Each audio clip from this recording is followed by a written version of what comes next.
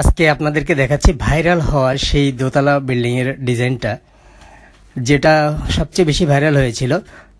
তো এটা হচ্ছে ভাইরাল হওয়ার একটা কারণ ছিল, সেটা হচ্ছে এটার বাজেট এটার বাজেটটা খুব কম ছিল। আর এটা বাজেটটা পরে একবার এই ভিডিও শেষে বলতেছি যে কত টাকা বাজেট লেগেছিল এই বিল্ডিংটা তৈরি করতে। এটা হচ্ছে এদিক থেকে দেখেন, আমরা প্রথম থেকে দেখাই। প্রথমে এখানে হচ্ছে যে মেইন ঢোকার যে রাস্তাটা বিল্ডিংয়ে ঢোকার যে রাস্তাটা, এটা, এখানে হচ্ছে একটা পার্কিংয়ের জন্য জায়গা রাখা আছে। আর এইদিকে দেখেন, এইদিকে হচ্ছে মেইন বিল্ডিংয়ে ঢোকার জন্য যে সিঁড়িটা, সেটা এখান দিয়ে দেওয়া। সিঁড়িটা ঢোকার পরেই হচ্ছে এখানে লিভিং রুম আমরা ভিতরের ফাংশনগুলো দেখাচ্ছি। আসলে ডুপ্লেক্স বিল্ডিং বলতে আমাদের একটা ভুল ধারণা আছে যে দোতলা বিল্ডিং মানেই ডুপ্লেক্স দোতলা বিল্ডিং মানে কিন্তু ডুপ্লেক্স বিল্ডিং না। একটা বিল্ডিংয়ে যখন ডুপ্লেক্সের যে ফ্যাসিলিটিসগুলো থাকা দরকার, সেগুলো থাকবে, তখনই সেটাকে ডুপ্লেক্স বিল্ডিং বলা হয়। যেমন হচ্ছে ডুপ্লেক্সে থাকতে হবে হচ্ছে swimming pool I mean water body আর থাকতে হবে হচ্ছে বাগান, থাকতে হবে একটা খেলার জায়গা থাকতে হবে। গাড়ি পার্কিংয়ের জায়গা থাকতে হবে টেরাস থাকতে হবে, দুইটা ফ্লোরের মধ্যে ভিজুয়াল কানেকশন থাকতে হবে, যেমন হচ্ছে নিচের ফ্লোরটা যেন উপরের ফ্লোর থেকে দেখা যায়, এরকম একটা ভিজুয়াল কানেকশন থাকতে হবে। এই ফ্যাসিলিটিসগুলো ফুলফিল করলেই সেটাকে ডুপ্লেক্স বিল্ডিং বলা হয়। এমনিতে যে কোনো দোতলা বিল্ডিংকেই কিন্তু ডুপ্লেক্স বলা হয় না আর কি তো আমরা দেখি এই বিল্ডিংয়ে আমরা কি কি ফাংশন দিতে পেরেছি। আসলে ক্লায়েন্টের রিকোয়ারমেন্ট অনুযায়ী তো ফাংশনটা হয়। তো এখানে আমরা আপনাদেরকে সেকশন করে দেখাচ্ছি যে এটা নিচতলায় কি কি আছে। আমরা সেকশনটা টানি নিচের দিকে। এটা হচ্ছে নিচতলা মানে হচ্ছে গ্রাউন্ড ফ্লোর গ্রাউন্ড ফ্লোরে কি কি আছে সেটা দেখাচ্ছি। এখান দিয়ে হচ্ছে মেন ঢোকার যেই সিঁড়িটা সেটা বললাম। আর এই গ্লাস ডোর দিয়ে ঢোকার পরে এখানে হচ্ছে আপনি লিভিং রুমটা পাচ্ছেন আর কি। আর এইখানে ভিতরে এসে এটা একটা বসার জায়গা করেছি আমরা ফ্যামিলি লিভিং যেটা। আর এটা ছিল হচ্ছে ডাইনিং রুম আসলে ডাইনিং রুমটা হচ্ছিল হচ্ছে এখানে। আর এদিকে আমরা যেটা করেছিলাম, সেটা হচ্ছে, আপনাদেরকে সেকশন দেখালে অনেকে নাও বুঝতে পারেন। আমরা সেকশনটা হাইড করি, পুরো ইয়েটাই দেখাই। Edit and hide all. আমরা হচ্ছে আপনাদেরকে এইভাবে দরজা দিয়ে দেখাই, তাহলে বুঝতে সুবিধা হবে। আসলে এটা এই বিল্ডিংয়ের ভিতরে আমরা ইন্টেরিয়রটাও করেছিলাম। ইন্টেরিয়রটা খারাপ হয়নি, সুন্দর হয়েছে। আপনাদের মতামত দিবেন ভিডিও শেষে। এই যে, এটা ঢুকে হচ্ছে এটা লিভিং রুমটা তারপর এখানে ছিল হচ্ছে সিঁড়িটা, উপরে ওঠার যে সিঁড়িটা, সেটা আমরা এদিক থেকে করেছি, দোতলায় ওঠার যে সিঁড়িটা। আর এইখানে হচ্ছে ডাইনিং রুমটা এই পাশে। সোজা এসে। এখানে বলা বাহুল্য রুমগুলোর সাইজ সাইজ জানিয়ে দিচ্ছি, আগে ফাংশনগুলো দেখে। এখানে ছিল একটা ওপেন কিচেন। ওপেন কিচেন, আসলে কিচেনটা ক্লোজ করলে একটা ব্যাপার, আবার ওপেন এরকম কিচেন রাখা যায়। আমরা এখানে ওপেন কিচেনটাই রেখেছি, ক্লায়েন্ট ওপেন কিচেন চেয়েছিল, এইদিকে হচ্ছে ফ্রিজটা রাখা আছে। আর নিচতলাতে আমরা ড্রয়িং বেসিক্যালি ড্রয়িং ডাইনিং আর ওঠার সিঁড়িটা নিচতলা আমরা বেডরুম এখানে রাখতে পারিনি। কারণ জমির পরিমাণ কম ছিল আর কস্ট মিনিমাইজেশন একটা ব্যাপার ছিল। আর এখানে বেডরুম ক্লায়েন্টের বেশি চাহিদাও ছিল না যে অনেকগুলো বেডরুম লাগবে। আমরা উপরে এসে বেডরুম দিয়েছি দুইটা। আর একটা সার্ভেন্ট বেড দিয়েছি এখানে। আর এখানে হচ্ছে এই বিল্ডিংয়ে টোটাল তাহলে হলো কি? এই বিল্ডিং এটা হচ্ছে সিঁড়ি, সিঁড়িটা দেখাই। এখন দেখতে বুঝতে সুবিধা হবে।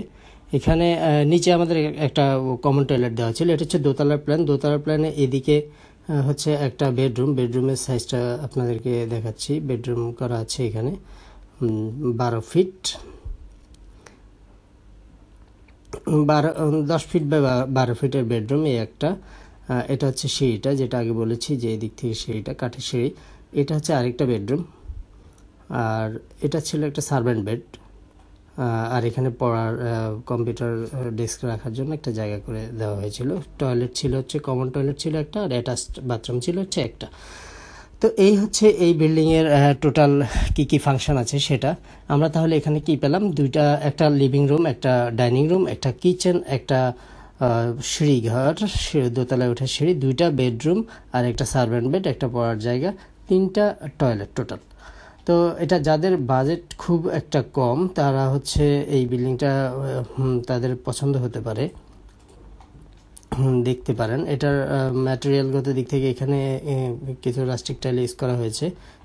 আর বেসিক্যালি গ্লাসের ইউজটা বেশি করা হয়েছে, যাতে কস্ট মিনিমাইজ করা যায় আর দেখতেও সুন্দর হয় জিনিসটা। এখানে চারপাশ দেখাই।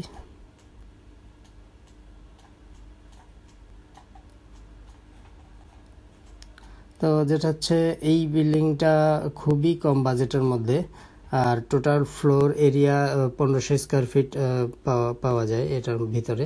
যেহেতু আমরা এখানে কিছু জায়গা ছেড়ে দিয়েছি, আসলে লুক লুক্রেটিভ করার জন্য স্পেসে ডিজাইন করতে হয়। আসলে বক্স বক্স ডিজাইন করে বিল্ডিং করলে সেটা আসলে সুন্দর হয় না এবং ব্যবহার উপযোগীও হয় না।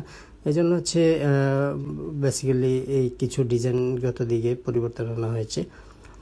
তো আর উপরে যেটা করা হয়েছে, এখানে রুফটাকে একটু বাড়ত- করা হয়েছে, ক্যান্টিলিভার করে টেনে দেওয়া হয়েছে।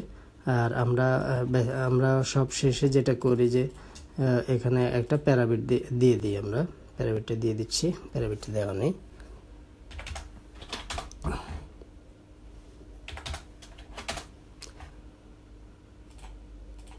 এখানে আমরা প্যারাবিট দিই, কারণ ছাদের পানিটা একদিক থেকে ফালানোর জন্য এটা প্রয়োজন পড়ে। তো ভিউয়ার্স আপনাদের যাদের বাড়ি করার বাড়ি করার জন্য বিল্ডিং এর ডিজাইন প্রয়োজন, আমাদেরকে ইনবক্স করতে পারেন। আমরা আপনাদেরকে ভালো আইডিয়া দিতে পারব, আমাদের ভালো আইডিয়া দিতে পারব, আপনার বাজেটের মধ্যে বাড়ি করে দিতে পারব ডিজাইন করে দিতে পারব। তো আপনাদের যদি কোনো কিছু জানার থাকে, তাহলে আমাদেরকে কমেন্টে জানাবেন। আমরা হচ্ছে আরও আপনাদের সব প্রশ্নের উত্তর এখানে দিব। আর আমাদের ফোন নাম্বার দেওয়া আছে চ্যানেল কভারে যদি কোনো কিছু জানার থাকে বা কোনো ইয়ে থাকে, তাহলে আমাদেরকে কল করবেন। আর এখন আসি বাজেটে এই বিল্ডিংটা কত টাকা বাজেট লেগেছে? এটা হচ্ছে সবচেয়ে বড় বিষয়। এই বিল্ডিংটা করতে টোটাল খরচ হয়েছে এ টু জেড সব মিলিয়ে সুইমিং পুলটা বানানো সহ টোটাল বাজেট পড়েছিল চোদ্দ লক্ষ সত্তর হাজার টাকা। মানে অবাক করা একটা বিষয় যে এত সুন্দর একটা বাড়ি চোদ্দ লক্ষ সত্তর হাজার টাকায় হয়ে গেছে। তো যেটা হচ্ছে, এটা আসলে প্রজেক্ট ম্যানেজমেন্টের ব্যাপার আছে ম্যাটেরিয়াল ওয়াস্টেজ না করে তারপর হচ্ছে কীভাবে ওপেনিংগুলা বা সার্কুলেশন ঠিক রেখে সুন্দর করে ডিজাইন করে করা যায়, তার উপরে ডিপেন্ড করে। এখন দেখেন, এখানে আমরা একটা সুইমিং পুল দিয়েছি। সুইমিং পুলে এখানে বসে বিকেলবেলা স্ন্যাক্স খেতে খেতে কি এনভায়রনমেন্টটা না পাওয়া যাবে আর এটা একটা গ্রামের গ্রামে বাড়িটা ছিল। আমরা চারপাশে গাছ, গাছপালাগুলো দেখাইতে পারি নাই।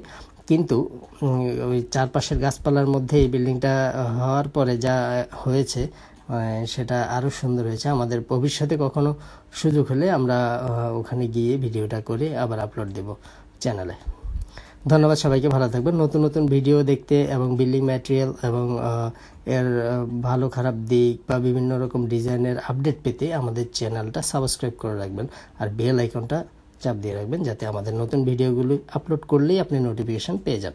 ধন্যবাদ সবাইকে, আসসালামু আলাইকুম।